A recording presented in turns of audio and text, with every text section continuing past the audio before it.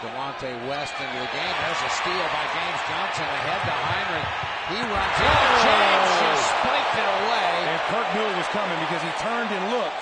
He turned and looked at the last second to find out where LeBron James was. He knew it was coming. Now watch him. Watch him turn and try to find where LeBron is. See him right